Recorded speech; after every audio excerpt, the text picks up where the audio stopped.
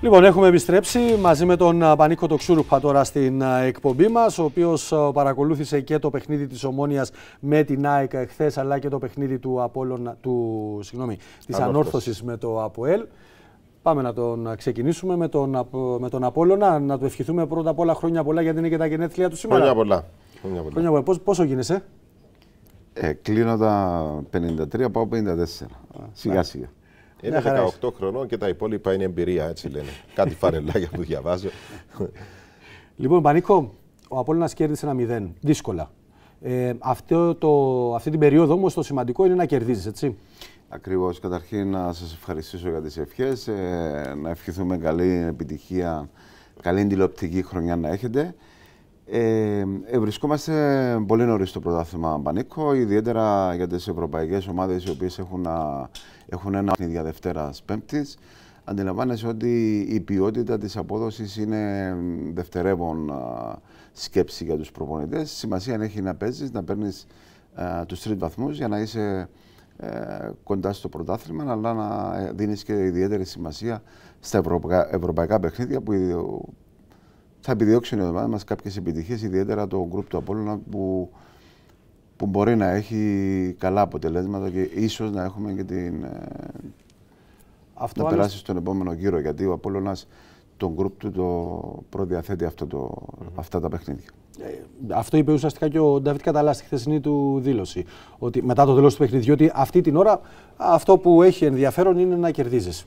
Ακριβώς. Ναι, για... για... να κερδίσεις πρέπει να, να, να το παλέψεις, πρέπει να, να πιεστείς, πρέπει να δώσεις πέντε πράγματα ε, όσο αφορά την ποιότητα. Μετράει το αποτέλεσμα, αλλά πρέπει να την κυνηγήσεις στη νίκη. ε, δεν μπορεί μόνο ε, με η φανέλα να κερδίζει τα παιχνίδια.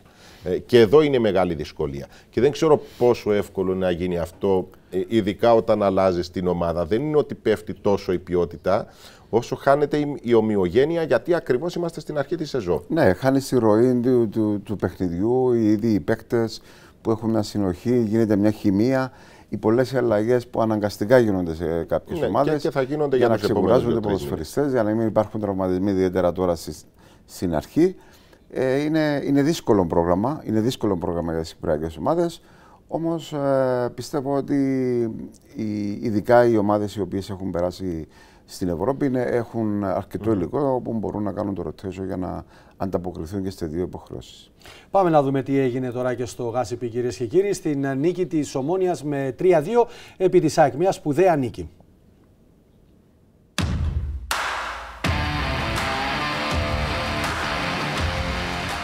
Το Ροζάλες θα ξεφύγει ο Μπρου. Περιοχή θα κάνει το σούτ. μπάλα χτυπά νομίζω σε παίκτη της Ομόνιας. Ο Λέδε με πάσα. Ο Γκιούρτσο το σούτ. Εκπληκτική επέμβαση του Βαμπιάνο.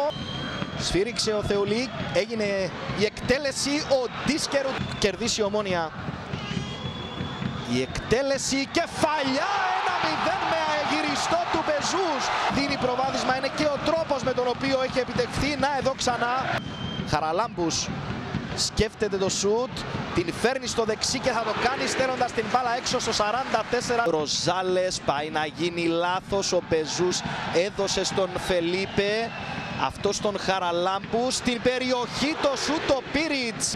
Έχουμε πλάνο και από το VAR αλλά και από τον Χρυσοβαλάντη Θεουλή ο οποίος τώρα αποφάσισε και δίνει πέναλτι για την Ομόνια. Εκτελεί ο Μπρούνο, γκολ η Ομόνια, ωραίο γκολ, πάντως έπε, ωραία εκτέλεση. Είναι ο Λατούντζι, ο Μπρούνο Κάμα και ο Μιλίτσα. Για να δούμε τώρα τον Φαράς, μπαίνει στην περιοχή, το γύρισμα δοκάρι. Και τώρα εδώ είναι η εξέλιξη της φάσης του δοκαριού, του Γκιούρτσο, η μπάλα πήγε στον Altman, έχει αποφασίσει ο Θεουλή και δίνει πέναλτι για την ΑΕΚ. Παίρνει μέτρα ο Γκιούρτσο και μειώνει 2-1 η ΑΕΚ. Χώρους αλλά η ΑΕΚ για να δούμε τώρα την φάση με τον Φελίπε να βέλγει μπροστά και να πλασάρει ο Πίριτς. Ξανά θα πει όχι. Τον Ιρανό επιθετικό της Ομόνιας. Θέλει να φύγει με ταχύτητα μπροστά. Ο Λατούντζι που μπαίνει στην περιοχή και πλασάρει 2-2. Πως έφυγε η μπάλα μπροστά. Δεν έγινε καλή, ε, καλός υπολογισμός. Στέλνει την μπάλα στην περιοχή. Κεφαλιά έξω. Ευκαιρία για την ΑΕΚ εδώ. Αυτή η αντίδραση μετά το φάουλ που εκτελέστηκε από, την, από τους ποδοσφαιριστές του. Η ομόνια τώρα είναι μπροστά και γίνεται το σούτ. Την μπάλα έφυγε έξω. Αυτός βλέπει ότι είναι ελεύθερος ο Ροζάλες. Ο Βενεζουελάνος θα κάνει την σέντρα. Ο Λατούντζι και ο Φαπιάνο. Παπουλής. Κρατάει μπαλα και σουτάρει. 3-2 η Ομόνια. Ξανά τον γκολ. Πως πήρε την μπάλα ο Παπουλής. Ξεπέρασε το μαρκάρισμα το προσωπικό. Ανοίγει παιχνίδι για τον Μπρούνο Γκάμα. Ο Πορτογάλος νέας σέντρα άφησε ο Φαπιάνο αλλά είναι μια καλή στιγμή εδώ για την ΑΕΚ. Χαμογελάει. Έχουμε και τον Αντρέα το Βιολάρη να μας λέει ότι είναι η, η πρώτη φορά ίσως στην ιστορία της uh, Κυπριακής τηλεόρασης που σε ένα πάνελ και οι τρεις είναι πανίκοι. Γεγονός. Εγώ είμαι Παναγιώτης. Λοιπόν, πάμε. Ε, δύσκολη νίκη για την Ομόνια, αλλά σημασία έχει ότι κέρδισε. Εντάξει, να σου πω, Βανίκο, ε, είδαμε πάρα πολλά πράγματα στο χθεσινό παιχνίδι. Καταρχήν ήταν ένα πάρα πολύ ωραίο παιχνίδι όσον αφορά Σωστά. και από τις δύο ομάδες. Είδαμε γκολ, είδαμε ένα, Ένα αλλαγή του σκορ. την αλλαγή του σκορ. Ε, πιστεύω όμως ότι υπάρχουν κάποια σημεία τα οποία θα πρέπει, τουλάχιστον εγώ όπως τα είδα, ήταν η, η επάνωδος του Λοίζου στην ομάδα μετά από όλα αυτά τα γεγονότα του καλοκαιριού. Ήταν η επάνωδος του Κούσουλου, ο οποίος μπήκε, έπαιξε έστω για το μικρό χρονικό διάστημα όμως Ήσουν εχθέ γήπεδο. ψυχολογικά. Ε, Ήσουν γήπεδο εχθές; όχι, δεν μπορούσα να είμαι στο γήπεδο, αλλά το είδα τηλεοπτικά.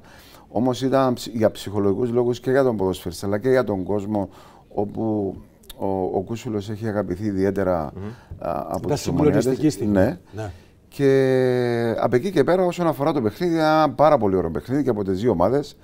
Ένα παιχνίδι το Φαπιάνο οποίο. κάνει μια επέμβαση με σπασμένο δάχτυλο, λέει. Εντάξει, νομίζω ότι το, πλέον το Φαμπιάνο δεν θα πρέπει να σχολιάζουμε τις, απο- την απόδοση του, διότι ο άνθρωπος έχει αποδείξει πέραν πάση αμφιβολία. Να μην σχολιάσουμε ούτε την τρίπλα του Παπουλή στην ηλικία που βρίσκεται και το πόσο ωφέλιμος είναι στην Ήταν η ομάδα του. επόμενη μου ατάκα που ήταν να πω ότι ένας 37χρονο πλέον όπως είναι ο Παπουλής ε, χαρίζει στα γήπεδα της Κύπρου τέτοιες ε, παρουσίες με τέτοιες έξυπνες τρίπλες. Ναι, και η έκρηξη που έχει ανάμεσα από δύο. και μ, στα 37 του να σημειώνει να έχει το τουπέ εκεί στα τελευταία λεπτά να κάνει όλο αυτό το σλάλομ για να σκοράρει με το αριστερό.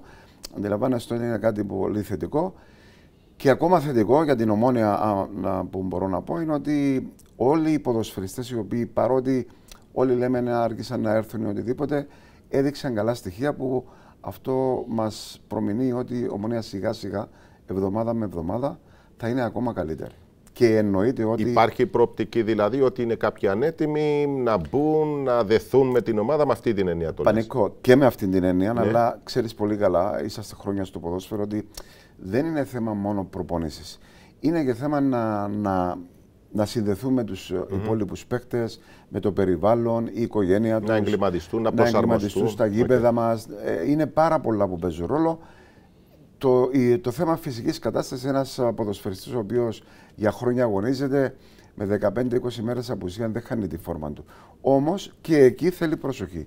Αλλά είναι πολλές οι λεπτομέρειες που χρειάζονται οι ποδοσφαιριστές για να ενταχθούν και να είναι έτοιμοι να σου προσφέρουν αυτή την ποιότητα που θέλεις από τους ίδιους. Ένας ποδοσφαιριστής στα 37 του ο Παπουλής κάνει αυτή την κίνηση. Θέλει προσωπικότητα, θέλει κότσια. Τι ακριβώς θέλει για να κάνει Θέλει- αυτό το πράγμα; Κοίτα, ο, ο Παπουλής ε, και ο κάθε Παπουλής στην ηλικία του και με την εμπειρία που, που διαθέτει είναι ένας ποδοσφαιριστής ο οποίος υπάρχει η εμπειρία, η, δεν έχει άγχος, είναι, είναι ήρεμος στο μυαλό, μπορεί να σκεφτεί πολύ πιο καθαρά από τον οποιοδήποτε και, μπο- και έχει και την ποιότητα στο τέλος, εννοείται, η οποία του επιτρέπει να κάνει αυτές τις Είναι κινήσεις. χαρισματικός, ουσιαστικά- είναι, είναι πάρα πολύ ταλαντούχος, αν μου επιτρέπει Πανικό, στην, στην προσποίηση. Η προσποίηση του Παπουλή είναι, ε, Είναι όλα τα πο- λεφτά. πολύ δύσκολα την ε, βρίσκει στο, στο ποδόσφαιρο, διότι βλέπεις αυτό το σπάσιμο της μέσης δε- δεν είναι τόσο συχνό. Και είναι αυτό που βλέπεις και στο παιχνίδι. Η μπάλα είναι στο δεξί, κάνει δύο μέτρα, σπρώχνει την μπάλα μπροστά, τη φέρνει Και στο αμέσως- αριστερό, φεύγει ανάμεσα από δύο και σκοράρει.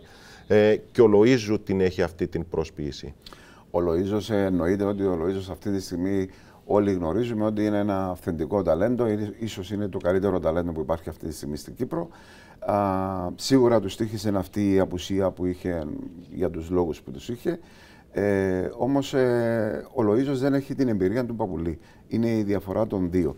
Ναι, αλλά εγώ έχω δει. Όμως μπορεί ο Λοίζος, ε, ο Λοίζος έχει την ικανότητα, είναι αυτό που λέμε και στα, στα καφέ, έτσι συζητώντας ποδοσφαιρικά, μπορεί να σε τρυπάρει μέσα σε έναν τηλεφωνικό θάλαμο. Σε αυτό το θέμα της εμπειρίας, εγώ έχω δει τον Χάμπ όμως να έχει μια καταπληκτική υποδοχή, να έχει τόσο καθαρό μυαλό στις αποφάσεις του, που είναι επίσης νεαρός, ε, και μου κάνει τρομερή εντύπωση διότι μου θυμίζει, τουλάχιστον μου το δείχνει στο γήπεδο ότι είναι ένας ποδοσφαιριστής ε, ηλικιακά 25, ε, μάλλον ποδοσφαιρικά 25, ενώ η ηλικία του είναι κάτω από τα 20. Ναι. Εντάξει, ε, ε, έχουμε ταλέντο. Αυτή τη στιγμή η Κύπρος έχουν έρθει αρκετοί καλοί ποδοσφαιριστές. Πιστεύω ότι ώσπου μπαίνουμε στο πρωτάθλημα και να, να έχει μια συνέχεια τα παιχνίδια, θα δούμε αρκετά καλά παιχνίδια, γιατί ε, έχουν γίνει αρκετές καλές μεταγραφές από ψηλά επίπεδα πρωταθλήματα και νομίζω ότι ε, θα δούμε ανταγωνιστικό, πάρα πολύ ανταγωνιστικό πρωτάθλημα. Και όμως η ΑΕΚ παίρνει ένα ποδοσφαιριστή από την Αλκή, νομίζω τον έφερε η Αλκή όταν ήταν στην τέταρτη κατηγορία και θέλω να, τη γνώμη σου για τον Ολατούντζη, διότι αυτό το παιδί ήρθε, επαναλαμβάνω, δεν με απατάει μνήμη μου, τέταρτη κατηγορία, τρίτη, δεύτερη, τον παίρνει η ΑΕΚ πέρσι και φέτος που παίρνει λίγα λεπτά παραπάνω μου βγάζει ένα πάρα πολύ καλό, ε, μου βγάζει γούστα. Εντάξει, ε, είναι, είναι 22 χρονών. Ναι. Είναι ένα γυμνασμένο κορμί. Ε, υπάρχει δύναμη, υπάρχει ταχύτητα. Σίγουρα δεν υπάρχει εμπειρία γιατί αν κρίνουμε και την παρουσία του στην Αλκίνα αλλά και στην ΑΕΚ την Περσινή που δεν είχε χρόνο συμμετοχής, έδειξε κάποια καλά στοιχεία. Μπορεί να παίξει πάρα πολύ καλά με, με την δύναμη, την ταχύτητα του, την αντεπίθεση όπως και τον κόλ που έκανε χτες απέναντι στο Γιούστερ. Ε, Όμως ε, του λείπει η εμπειρία και ξέρετε, οι, οι ομάδες που θέλουν να κάνουν προαθλητισμό θέλουν το εύκολο γκολ. Δεν το έχει η ΑΕΚ. Όχι μόνο η ΑΕΚ, ούτε η ΑΕΚ πιστεύω αυτή τη στιγμή το έχει.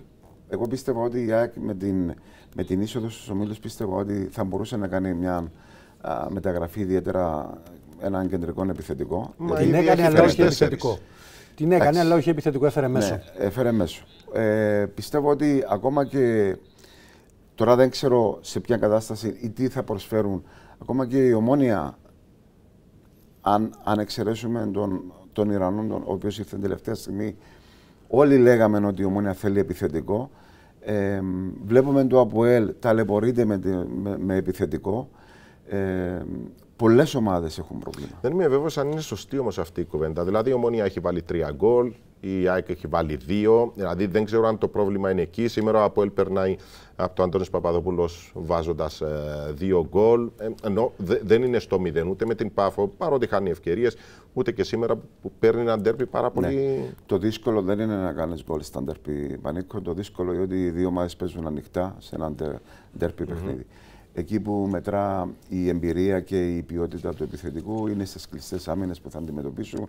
Αύριο, όταν θα παίξουμε πιο μικρές ομάδες, θα τους παίζουν πιο αμυντικά. Εκεί χρειάζεσαι το μυαλό, τη φαντασία, την εμπειρία, την τοποθέτηση του επιθετικού που θα σου λύσει το πρόβλημα να σου κάνει το 1-0 ή το 0-1 και μετά να γίνει πιο εύκολο το παιχνίδι. Πάμε να δούμε τώρα τι έγινε και στο Αντώνης Παπαδόπουλος κυρίες και κύριοι. Στο Αντώνης Παπαδόπουλος το οποίο το ΑΠΟΕΛ μετά από αν θυμάμαι καλά, έξι χρόνια έχει και καταφέρει να κερδίσει στο το 18 ήταν η τελευταία φορά. Πότε; Το 18. Το 18, συγγνώμη, λάθος τότε. Πάμε να δούμε λοιπόν τι έγινε στο Αντώνης Παπαδόπουλος και πώς πέρασε νικηφόρα το ΑΠΟΕΛ από την έδρα της Ανόρθωσης.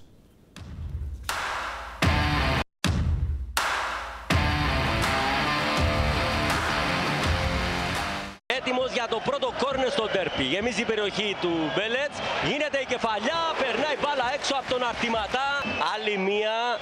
Συνεχίζει τον καλά. Είναι κοντά του και τον μαρκάρει ο Κορέια. Η σέντρα με τη μία από τον Σατσάο. Μάγκλιτσα τη μεγάλη ευκαιρία. Μόλις έξω η μπάλα. Πάμε στον Εντογκαλά. Πάμε στην επίθεση του Αποέλ. Θα κάνει το σουτ, διώχνει ο Λόρια. Νέα προσπάθεια από τον Εντογκαλά που σεντράρει, διώχνει ο Παϊσίνιο. Για να δούμε τώρα ποιος θα εκτελέσει. Ο Πάντσον διώχνει ο Μπέλετς. Ο Άρτα βλέπει την κίνηση του Αρτηματά. Ο οποίος θα κάνει με τη μία το σουτ μόλις πάνω από τα δοκάρια του Μπέλετς. Ανοίγεται αριστερά ο Μαρκίνιος. Με προϋποθέσεις το Αποέλ πάει να βγει στη γρήγορη επίθεση. Μαρκίνιος βρίσκει το χώρο, κάνει το σουτ, γκολ! Ένα 0 το Αποέλ. Ο Τάλσιο την διαγώνια πάσα, ο Μαρκίνιος πήγε πλάγια στην περιοχή, βρήκε τον χώρο και έκανε αυτό το δυνατό σουτ που είχε και τον κατάλληλο φάλτσο και έστειλε την μπάλα να αναπαυτεί στα δίχτυα του Λόρια στο 33ο λεπτό στο τέρπι. Αρτηματάς. Κάνει μια παλιά για τον Αμπαρτσουμιά που φεύγει στην πλάτη της άμυνας. Το πλασέ γκολ! Αντωνίου σκοράρει πάνω το σημειάκι. Ακυρώνεται το γκολ για offside. Θα δούμε εδώ και το πλάνο που ήρθε από το VAR. Διαγώνια πάσα του Πάντσον για τον Κορέια. Κορέια σεντράρει, πέφτει μπάλα πίσω, το σούτ έξω. Ουάρτα αφήνει έξυπνα στον Κορέια, μπαίνει πλάγια στην περιοχή, το γύρισμά του εκεί που διώχνει ο Κωνσταντίνοφ. Νέα προσπάθεια από τον Κορέια που σεντράρει. Ο Νιγκά την πρώτη κεφαλιά, ο Γουαρίς μαζεύει ο Μπέλες. Μαρκίνιος στο Γουίλερ, εν τον καλά. Κάνει ένα άτιασμα, κάνει και το σουτ πάνω από την αιστεία. Εκτελεί ο Φερέιρα το φάουλ, η κεφαλιά από τον Παϊσίνιο έξω. Ανάμεσα από δύο και τρεις παίχτες τα καταφέρνει. Ράντονι στον Γουαρίς δεν μπορεί. Ο Φερέιρα το σουτ μαζεύει με δεύτερη προσπάθεια ο Μπέλετς. Εκτελείται το φάουλ από τον Μούιανιτς γρήγορα στον Κβιλιτάια που βάζει την μπάλα μπροστά. Έχει ευκαιρία το Αποέλ. Στρώνει αυτός και γίνεται από το Πλούμ το 0-2. Έκανε την παλιά για τον Κβιλιτάια, τον έβγαλε μόνο από τα δεξιά αυτός με μια κίνηση μπήκε πλάγια, έκανε το παράλληλο γύρισμα. Εκεί ήταν και ο Αμπαρτσουμιά νομίζω, αν είδα καλά, για να δούμε. Ξανά βλέπουμε ότι ήταν από κανονική θέση ο Μπλουμ, αν ήταν αυτός που έσπρωξε την μπάλα στα δίχτυα. Αυτός δόθηκε για σκόρερ. Ε, αυτό γκολ το δεύτερο. Ναι. Σχόλιο, είδες όλο το παιχνίδι; Εντάξει, νομίζω ότι το Απόλυ ήταν καλύτερο στο πρώτο ημίχρονο. Ήταν πιο. πατούσε πιο Στιβαρό. Γερά μέσα στο παιχνίδι. Ουσιαστικά η ανόρθωση δεν ε, πίεσε καθόλου το ΑΠΟΕ. Κατάφερε να μπει μπροστά στο σκορ. Εντάξει, το δεύτερο ημίχρονο ε, προσπάθησε ο προπονητής της ανόρθωσης με κάποιες αλλαγές να ισορροπήσει το παιχνίδι. Ε, πίεσε το ΑΠΟΕΛ.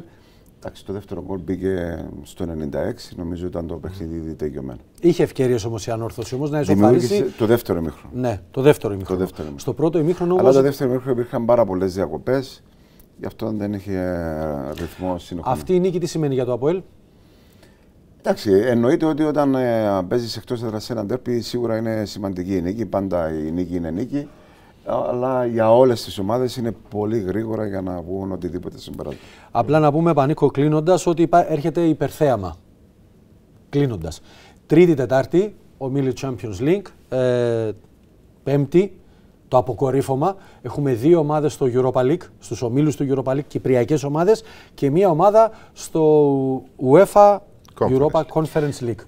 Θέλεις να σου απαντήσω σαν. α, Σας είδα, Βίζο, Σας θα μου είδα απαντήσεις Vision ή τώρα, ακόμη κατάλαβα και σαν την ερώτηση. φίλαθλος. αν Εννοείται θέλεις. ότι ως SIDA Vision είμαστε η πληρέστερη αθλητική πλατφόρμα και για ακόμα μια χρονιά θα χαρίσουμε και είμαστε ευτυχισμένοι που έχουμε τρεις κυπριακές ομάδες ε, σε αυτούς τους ομίλους και νομίζω ότι η SIDA Vision για ακόμα μια χρονιά θα χαρίσει στον κόσμο αυτό το υπερθέαμα που ονομάζεται ε, Champions League, Europa League και Conference League και νομίζω ότι ιδιαίτερα για τις κυπριακές ομάδες είναι με, με ανυπομονησία που θα παρακολουθούμε τα παιχνίδια. Και όλοι θα στηθούν πλέον μπροστά στην τηλεόραση με την Sida Vision να είναι πρώτη και καλύτερη. Πάνικο μου, θες κάτι να πεις; Όχι, αλλά τώρα που το σκέφτομαι στο, Ναι, στο για μυαλό πες. για το υπερθέαμα, ε, είναι εκπληκτικό σε μία βραδιά να έχουμε ε, τρεις ομάδες ε, στα ευρωπαϊκά κύπελα. Ε, πραγματικά είναι εντυπωσιακό. Ε, έχει χώρες που δεν το έχουν. Προφανώς. Προφανώς υπάρχουν χώρες που δεν το έχουν. Ναι. Ε, λοιπόν, είναι, είναι, είναι πολύ σπουδαίο γεγονός για το κυπριακό ποδόσφαιρο. Πάνικο μου, σε ευχαριστώ πάρα πολύ. Να είσαι καλά. Πάνικο, σε ευχαριστώ πάρα πολύ. εμείς Χρόνια πολλά και πάλι. Να είστε καλά.